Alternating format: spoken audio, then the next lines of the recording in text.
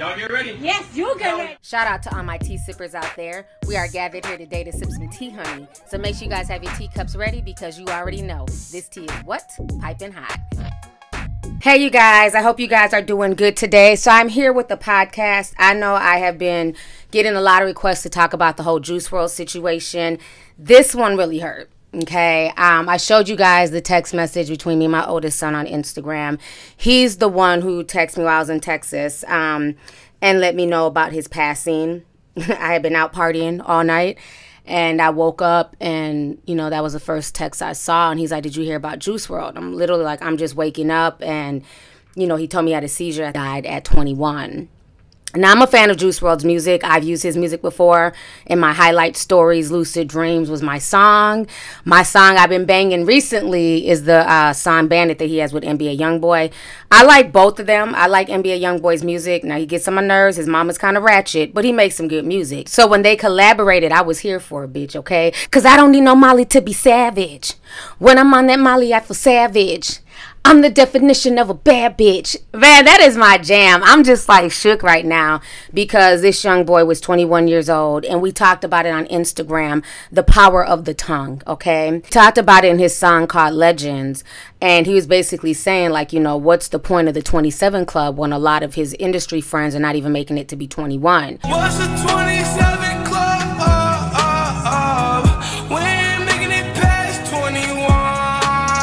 And if you guys don't know, he just turned 21 a few days ago, and he was flying to Chicago to celebrate his 21st birthday with his family and friends. So this entire situation is sad. A lot of people are hurting right now. He is not a mumble rapper. His music is like it's just really melodic. He had his own style, the way he flowed. You could understand his lyrics. Like, I loved listening to his music because he wasn't like the typical, you know I'm saying, mushmouth rapper that we've become accustomed to. Like, I really enjoyed his music. I always felt like there was like a melancholy feel to him. Like, he was going through a lot of like, you know, deep stuff and he put into his music. You know, he was having a lot of, you know, issues with females and stuff like that. But, um, I really liked him. But unfortunately, there's this whole drug culture. And that's the part, you know, I don't try and knock these young people because they're not saying anything that we weren't listening to in the 90s, you know, with Snoop and, and Pac and all them talking about, you know, liquor and, and um, smoking weed and all that stuff. But this new generation is definitely heavy into like the mollies, the perks, the Xans, and Hey, bitch, little pumping this shit, man. I just hit a million, and we celebrating with a Xan cake, bitch. Ask! This how you cut a Xan cake. Mm. Go all the way down. Shut your bitch ass up, Troy. Go all the way down. Shut your bitch ass up. Troy, you's a bitch. Don't tell me what to do, nigga. Yeah, you know what we doing, dog. Going red on that waffles, man. You know how we rock. Young bombs running around crumb sniffing. You know, it makes me sad that a lot of these rappers rap about that stuff, but it's obvious that's what a lot of these kids on in this generation are going through. It's like they're they're even though they're connected and they're part of this microwave society and they have so much at their fingertips, technology, and now you don't need to suck the industry's dick to make it. You literally can make it, you know, putting your music on SoundCloud and just creating your own fan base. But even with all of that, a lot of these kids are not happy. A lot of these kids are going through a lot of like emotional turmoil. And the only way that they're able to basically release some of that stress and pressure is through these powerful drugs, okay? And it just makes me sad because when he had the seizure, that's the first thing I thought is, you know, it has to be that lean. Coming from somebody who suffers from a chronic illness and who has to have pain medication, it makes me sad when I see young people abusing it because I take some of the same medications, but I literally take a teaspoon, okay? A teaspoon, okay, in an eight hour period. And I know how loopy it makes me feel. So I can't believe that some of these young kids are literally taking the whole bottle. They're pouring it with Sprite. And then you figure they're adding liquor to it. This is a recipe for disaster. How many more young people do we have to lose to this type of stuff? You know, it's sad that a whole generation of artists, and not just artists, these are the ones who are famous, but there's a whole generation of kids out here who are losing their lives to Xans and Perks and Lean and everything else. It's really sad and it's really, you know, like that hit hard because I'm a parent and my kids put me onto him. So it's just like, why? I just can't believe that because he made such good music. And it's really sad that a lot of his music I feel was like a cry for help. So now there's even more information coming out about what happened, his final moments, and what's going on with his entourage. So if you guys do not know, he was flying on a private jet. So he wasn't like on American Airlines or Delta or nothing like that. He was on a private jet. And so, and there's video of him in the jet with his homeboys. They're kicking it, having fun. And for some reason, the police got tipped off that they felt like this private jet had a lot of contraband, drugs, and guns. So supposedly they got tipped off. So when they landed on the tarmac, the Chicago police were waiting for them. So what ended up happening is that once they got there, they started going through all their baggages and all their luggage, and they ended up finding over 70 pounds of marijuana. They also found guns and everything else. I'm going to go ahead and read to you guys the article really quick. It says Chicago rapper Juice WRLD suffered convulsions and went into cardiac arrest as police and federal agents were searching his and his entourage's luggage for guns and drugs at a private hangar at Midway Airport over the weekend, according to police. The officers and agents had been waiting at the Atlantic Aviation hangar at Midway earlier Sunday because they suspected the private plane from Los Angeles carrying the 21 year old musician was carrying contraband, the police said. As they were going through two carts of luggage, the rapper, whose real name is Jared Higgins, began convulsing and going into a seizure the police sources said. An agent administered two doses of Narcan, which is an emergency treatment when opioid overdose is suspected. The paramedics took him to Advocate Christ Medical Center in Oak Lawn, where he was pronounced dead at 3:14 a.m., about an hour after he landed in Chicago. An autopsy is scheduled for Monday. The search turned up 41 vacuum sealed bags of marijuana, six bottles of prescription codeine cough syrup, two 9mm pistols, a 40 caliber pistol, a high capacity ammunition magazine, metal piercing bullets, according to police. Two guards with Higgins were charged with illegally possessing the guns and ammunition. No drug charges had been filed. The police said the marijuana and the codeine were found in bags that had no name tags. Sources said the investigation is continuing. Then it also goes on to say this It is unknown why the federal agents were waiting for the plane, a two engine Gulfstream jet owned by the company in Longwood, Florida, in Longwood, Florida.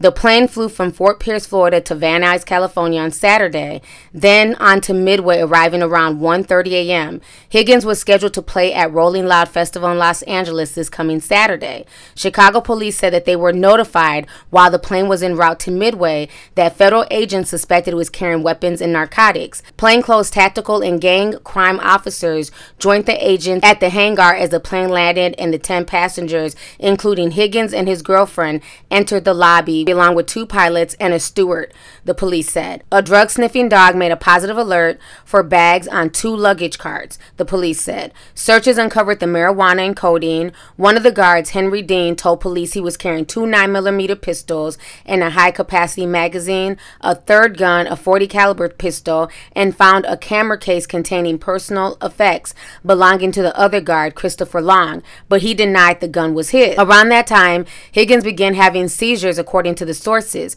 Police asked his girlfriend if he had any medical issues or had ingested any drugs. She replied that Higgins did not have any medical conditions, but that he had taken perks and had a drug problem. Police said perks contained acetylphenamine and oxycodone, an opioid. An ambulance was called while the Narcan was administered. Later, Lang was charged with unlawful possession of a firearm. Dean was charged with carrying a concealed firearm at an airport, possessing a high capacity magazine, and metal piercing bullets, the police said. Dean had a permit to carry the gun in Illinois, but weapons are banned from airports. The charges are misdemeanors. The police said that the state attorney office rejected felony charges for the two of them. So that's what's being reported. And to tell you the truth, I think what caused him to have a seizure is one, they're being stopped by the police. So somebody tipped the police off for the police to be sitting there waiting. So I don't know if it was the, you know, the, the pilot, somebody on the plane, the stewardess, but somebody tipped somebody off because the police is just not going to be waiting at the airport for these people to land. Him and his entourage had been caught with 70 pounds of marijuana, codeine, guns, and everything else. We don't know the entourage like that, okay? All we know is Juice WRLD. So once that arrest becomes public, it's going to be his name's drug through the paper. Juice WRLD arrested at the airport. He's a drug smuggler. You know, just that alone is enough to cause you stress. You know, it's one thing to be arrested in private. It's another thing for everything to be eh, that you do to be blasted to the world. So I think not only the drugs, but the added stress of the situation compiled with the drug use is what caused him to go into a seizure and eventually kill him. So the whole situation is just really sad. And even in the song Legends, he says he's been going through paranoia and he always has to keep a gun on him.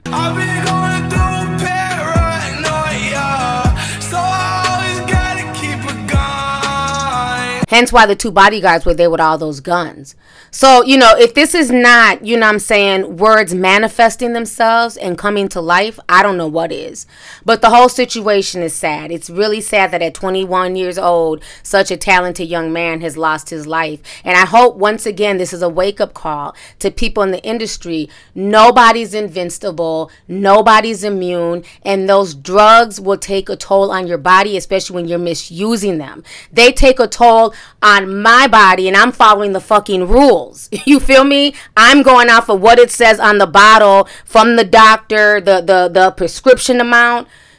And and I I feel it taking a toll on my body. You feel me? So when you're drinking an entire bottle of codeine, when you're popping, you know I'm saying, 10 pills at a time, when you're only supposed to take two in a 24-hour period, you are causing your body to deteriorate even faster.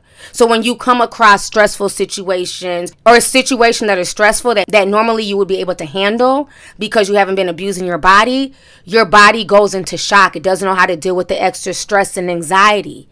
And because you're on drugs and you're, you know, abusing drugs, it's hard for your body to know what to do in those situations and it ends up being an overload. So I think that's really what caused his death is the drug use and the stress of that arrest. I mean, you're talking about the feds are right there in front of them. They all know they're riding dirty. The whole entourage knows they're riding dirty. But he knows that he's going to be the one blamed for everything. So the whole situation is crazy, but I think this is going to cause the police to really ride down on a lot of these celebrities that are riding around in private planes because what they were doing is drug trafficking. Okay, that wasn't, you know, a, a 20 ounce. Okay, that wasn't a QP, honey. That was 70 pounds of weed. There's no way that you need to, there's no way you can smoke 70 pounds of weed in a weekend. I don't give a fuck who you are. So somebody was drug trafficking. Somebody was, you know I'm saying, moving shit from coast to coast. So trust and believe there's going to be some new regulations. They're going to be, the hip hop police is going to jump on this and they're going to start searching everybody's planes. Anytime something like this goes down, shit rolls downhill. And trust and believe these rappers better get in line. They better know who's carrying what, what's being brought on, because you will be charged with federal crimes for drug trafficking. That is very serious. And they're still investigating. What they're going to do is start running fingerprints on all those bags to see who all handled those bags. And if it's other people's fingerprints on those bags, on those duffel bags and everything else outside of Juice WRLD, because they can't charge him because he's deceased, they will probably charge the other people's whose prints come up on those bags, unless they were all wearing gloves. But you know, so this whole situation is crazy, but there's definitely going to be some changes to be had because again, you know, a lot of these celebrities they fly private jets, they hire, you know, private people to fly them around. But when you're talking about 70 pounds of marijuana and, you know, codeine and everything else, honestly, if they wanted weed, they could have just flew to Chicago and been able to, you know I'm saying, get their weed in Chicago. There's no reason for them to bring 70 pounds of weed to another state unless you're planning on, you know I'm saying, selling those drugs and you're trafficking the drugs basically. Because they can get weed in Chicago. You can get damn weed anywhere. So they were moving drugs. That's what it boils down to. And I think the stress of that, you know, is what caused them to go into a seizure. So this entire situation is very heartbreaking. At the end of the day, these are young people. You know, some of these kids are young enough to be my kids. You know what I'm saying? So I try not to judge them too harshly because again, we were all young. We've all made mistakes, you know, and you know, by the grace of God, a lot of us were able to bounce back from our mistakes, learn from our mistakes, and we're able to see another day. Unfortunately, his chapter is ended, but his music will always live on. And I am proud to say I'm a fan of his music, I'm a fan of his work, and it's just sad that this is how his chapter ended. Anyways, y'all, let's go ahead and get the discussion popping. Leave a comment. Let me know your thoughts on this entire situation. Don't forget to like, comment, and subscribe. Um, let me know what your favorite Juice WRLD song was and how do you guys feel about this.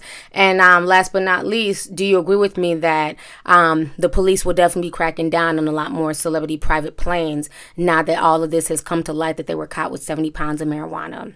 So let's go ahead and get the discussion popping. Go ahead and leave a comment. All right, deuces.